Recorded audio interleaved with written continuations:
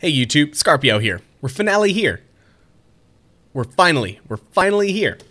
If this is the first video that you're watching, unfortunately you're at the very end of the series. I do highly recommend going all the way to the beginning and watching it all because it's great content. Now before we get started, I've got a quick announcement. I will start streaming on Twitch next week. I still have a lot of stuff to get back from the hacker, so I will be doing lots of PVM to make my money back. So follow me on Twitch, come ask me your PVM questions on stream, watch me completely fail at new bosses, it'll be fun. I've got the link down below. Make sure you follow and turn on notifications because at the moment I'm not using a schedule. But if you want to get a heads up on when I will be streaming, I have a Discord server. I've also got the link for that down below. Uh, that way you can stay updated on upcoming streams and videos coming out. All right, now back to the video.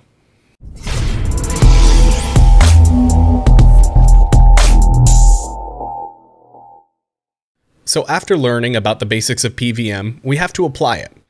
I know it's a lot to put together and tough trying to remember everything from 20 different videos, but what I'm going to do is show you step by step how I handle a hypothetical new boss and apply everything that I've taught you so far. The boss I've chosen is Helwyr, which most of you already know I fought many times, but let's pretend that I haven't. I chose this boss for multiple reasons. I feel like it's a decent step up from the bosses in the God Wars 1 dungeon, or King Black Dragon, or Giant Mole. It also has a decent amount of mechanics to learn, but not too much to explain in comparison to Nex, Rax, or Telos. The first thing that I do with a new boss is look them up on the RuneScape wiki. It gives a ton of information here about the boss. He's level 1000, has 200,000 life points, is aggressive but not poisonous. He only attacks with melee, and his auto attack happens every 4 ticks or 2.4 seconds. A very important piece of info you should check with every boss is down here. Sometimes bosses have weaknesses, but unfortunately Helwyr doesn't have one. But he is also not immune to poison, reflect, and drain, but is immune to stun. So for this boss, you won't be needing my video on stuns, but since he can be poisoned, you'll want weapon poison in your inventory. If you can afford Cinderbane gloves, use them, but I will not be using them since not everyone has them. Not everyone has Ancient Curses unlocked either, so I'll be sticking to the regular prayers, which also takes away the tier 95 drain slash boosting prayers. But if you have these unlocked, I would use them. He only attacks with melee, so I'll pray protect from melee the entire time, which is nice not needing to prayer switch. I will then learn about the boss mechanics that I need to tackle. Helwyr has four different specials that he will use in order. The first is the Mushroom Clouds. These deal fast AoE typeless damage that slows your run to a walk.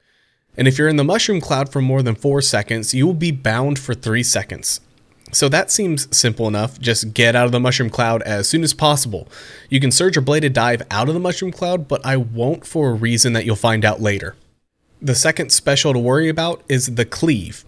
This deals up to 3000 melee damage. You have two choices here really. Either step out of melee distance to avoid the hit completely, or switch to a shield and resonance the hit for lots of health. I'll be using the resonance method to try and save on food. The third special is the Frenzy special. Helwyr will run around and deal up to 1800 melee damage every 2 ticks 5 times. This can also be avoided by stepping out of melee distance. Or you can pray melee and use devotion, which will negate all the damage, or cut a lot of the damage down by using debilitate and reflect along with protect melee. I'll be using these methods rather than stepping out of melee distance. The last special is the wolves. Helwyr summons a couple of wolves to help him. The easiest way to tackle this is by using a two-handed weapon and using some AoE abilities like Cleave, Hurricane, and Quake. These specials trigger in exactly this order with three auto attacks in between each of them. This makes it very easy to predict and practice ahead of time. Another mechanic to worry about are the bleeds that Helwyr applies when he does his Cleave and Frenzy specials, but these can be negated with Freedom. The last mechanic that is very important and is definitely overlooked on the wiki because it's only a note down here is when you are out of melee distance with Helwyr, he will skip auto attacks and go straight to the next special. This is the reason I won't be surging out of the Mushroom Cloud. This really changes how we want to fight him. With Helwyr only using melee, the best method you would think is mage, but then you have to worry about staying in melee distance. Or I can just run melee, which will keep me in melee distance. I will take a little more damage than if I ran mage, but I'll be bringing a beast of burden with food and resonance that cleaves, so it should balance out. Since I know I'm using melee, I can start to figure out what gear I want to bring to the fight. I'm going to be using Bandos armor since it is power armor for more damage. I'll wear a Saradomin's Whisper for the necklace slot. A fire cape will be great for the cape slot. I'll be using three different rings, the Asylum Surgeon's ring, the Ring of Vigor, and a Luck ring. For the aura, I'll be using the Supreme Brawler aura until I can handle the boss well for Berserker. And lastly, the pocket slot, which for new bosses, I recommend a Sign of Life until you get better, and then use a Scrimshaw. For weapons, I'll be using the Necronium Battle Axes, both dual wield and two hand. I could make this easier by only bringing the two-handed weapon, but I do think that weapon switching and shield switching is something to start learning now to make your life easier on learning higher level PVM. I will also be using the Necronium Kite Shield. In my inventory, I'll be using a super melee potion, a couple of prayer flasks, a weapon poison plus plus flask, and an adrenaline potion flask. The last does require level 84 prayer, but the rest are tradable. I do highly recommend getting your Herblore level high enough for adrenaline potions. I'll carry a few Saradomin brew flasks and then fill the rest of the inventory with sharks. My beast of burden will be a war tortoise filled with sharks. Hopefully, I won't need all the food, but when starting a new boss, it doesn't hurt to bring extra. For relic powers, I'll be using the Berserker's Fury and Death Ward. The next thing you'll want to do if you haven't done already is set up your action bar properly. I'm going to set up two similar action bars, one for two-handed and one for dual wield. They both have two ultimates, three thresholds, and six basics. I've keybound the ultimates and thresholds and turned off the auto triggering for those since I'll cue them manually. I also have turned on the auto switching for the action bars, that way I'm not messing around with it in the middle of the fight. As for my utility bar and the extra spacing on my revolution bar, I'll need keybinds for the melee prayer, all my weapons and shield, freedom, resonance, debilitate, reflect, devotion, sharks, Saradomin brews, and summoning familiar action. Now that everything is keybound, it's time to put in some practice at the PVM Hub dummies. The first special I won't worry about practicing since it's literally just getting out of the way. For cleave, I will need to practice switching to my shield using resonance, and then switching back to dual wield after the hit. But not just that. Cleave deals melee damage, so if my protect from melee prayer is up, it will have the damage dealt, which will have the healing I get from the resonance. This means I need to practice turning off my prayer, switching to shield, using resonance, and then after the hit, turn the prayer back on and switch to dual wield. This is probably the biggest thing to practice. Next, I'll practice my keybinds for devotion, and while that's on cooldown, I'll use debilitate and reflect, but I need to remember to switch to the shield for debilitate to extend the time, and after using both of those, I'll be using freedom to clear the bleeds.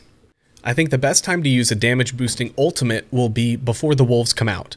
My goal will be to get 100% adrenaline before then and use Berserk, which is a little risky when learning a new boss.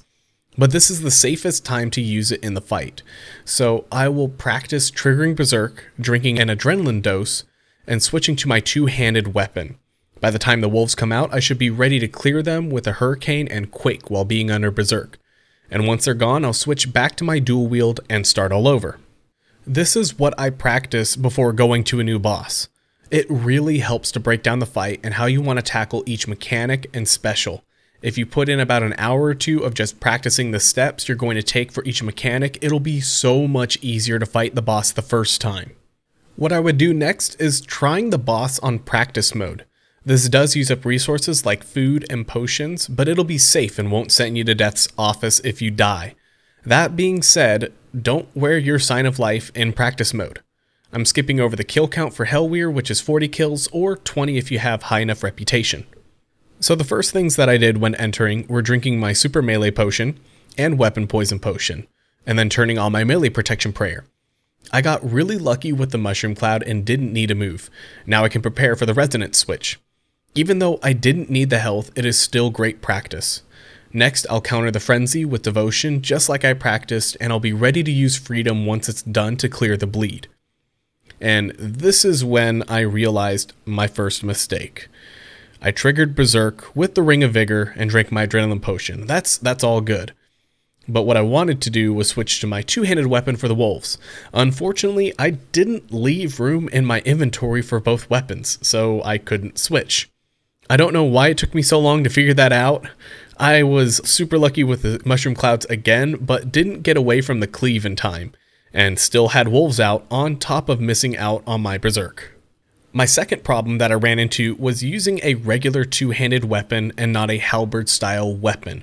The wolves were still able to attack me, but I was still out of distance from them. And I didn't even realize this problem until my final run with Helwyr.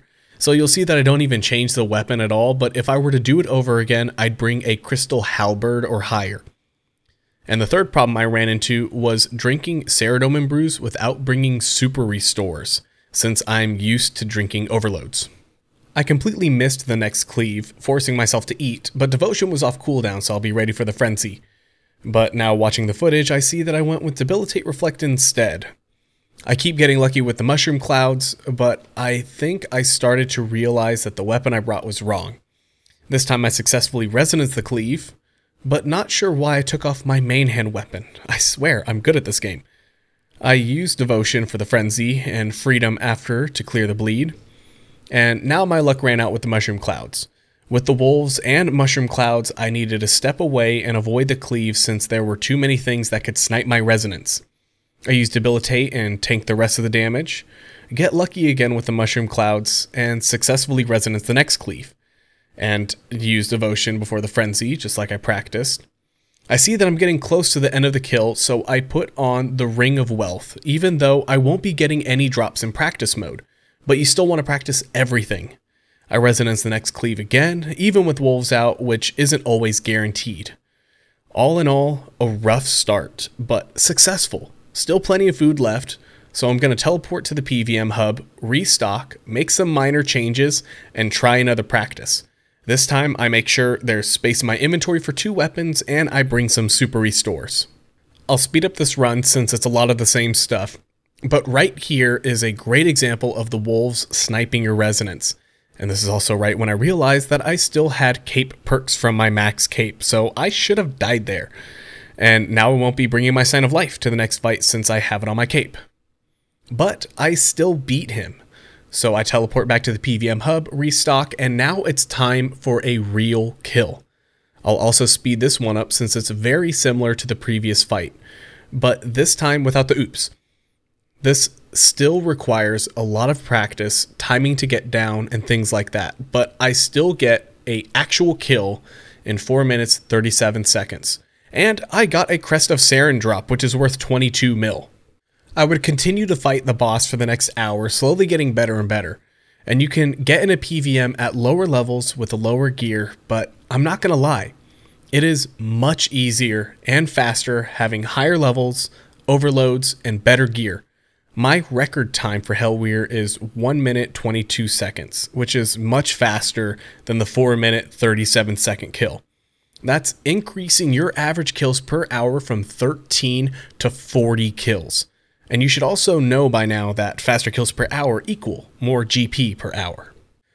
And that's putting it all together. This is literally a step-by-step process that I take to learning a new boss. And if you want to see me apply all this to new bosses that I've never fought and completely fail, come watch me on Twitch. I've got the link down below. I've got ideas for an intermediate PVM series that'll come out in about a month or two, but I think I'm going to focus on getting my stuff back from the hacker. And if you haven't seen that series, I've got the playlist card that'll come up on screen right now. Uh, and if you want to stay updated, make sure you join the Discord server. I've also got the link for that down below. Make sure you all stay healthy, like and subscribe, and thanks for watching. Why did I sign? I don't get it. Oh, damn it.